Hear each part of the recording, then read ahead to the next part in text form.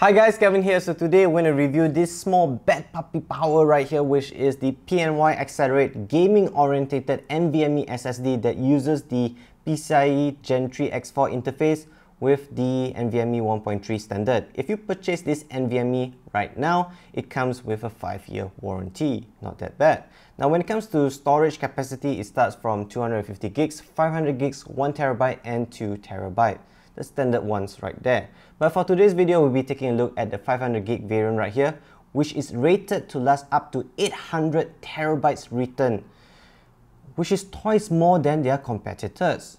So the rated read speed for this NVMe right here is 3500 megabytes per second and the rated write speed for this 500 gig variant right here is 2000 megabytes per second. And if you want the rated write speed of 3000 megabytes per second, you definitely need to jump to the 1 terabyte or 2 terabyte capacity storage. Now, I wasn't sure whether this NVMe right here will thermal throttle like those in the market heavily or not. So I did my test with bare bones alone versus with a heatsink right here. This heatsink is actually is nickel type and is by EK. So my test would base on these two setup right here. So let's jump into the benchmarks.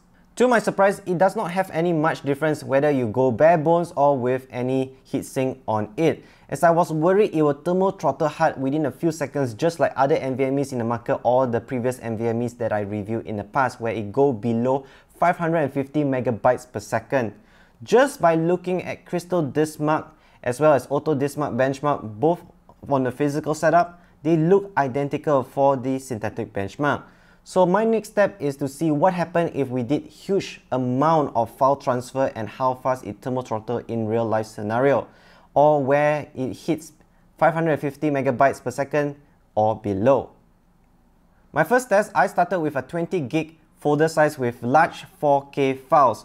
It did not thermal throttle at all. So moving on, what I did next is to use Sony RAW files, almost 70 gigs folder size. And we did see the heatsink setup thermal throttle roughly 1 minute and 26 seconds later.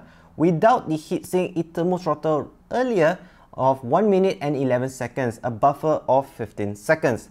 For my final test, what I did is I combined both the photo and video folder into one where the total combined folder size is 90 gigs.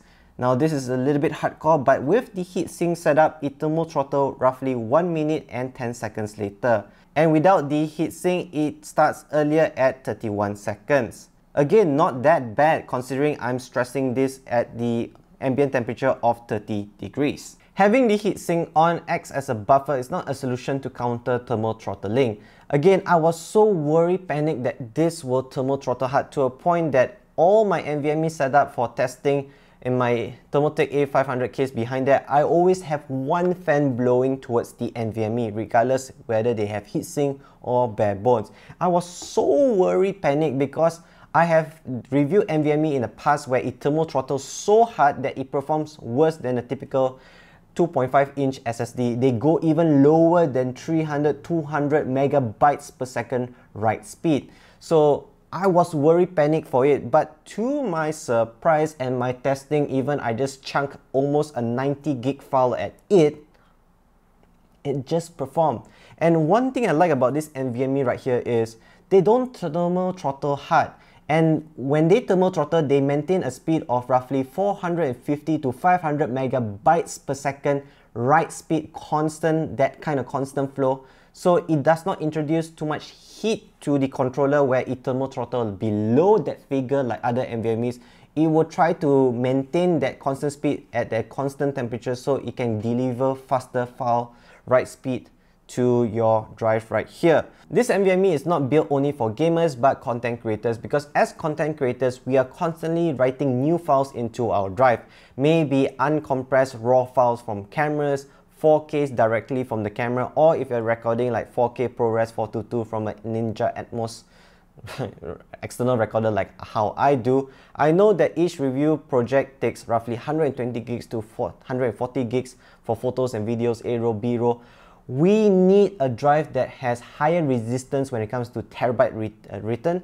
That would show that the drive would last longer.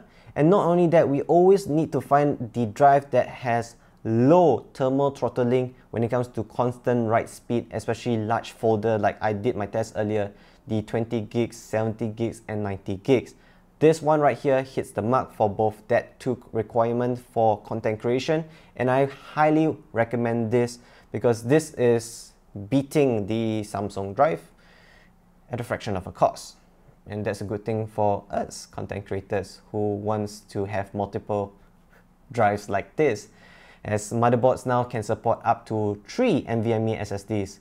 So thank you for watching this video. Comment below what do you think about this baby right here. Leave your feedback of this thing right here in the comments. What other stuff you want me to review next from PNY, just drop in the comments below. I can try to arrange with them. Remember to like and subscribe and help share this video on social media. We need the necessary boost to get up to 100,000 subscribers and we can do more crazy projects like this. Till then, I'll see you guys in the next NVMe review. But the next one would be PC hardware. Bye guys.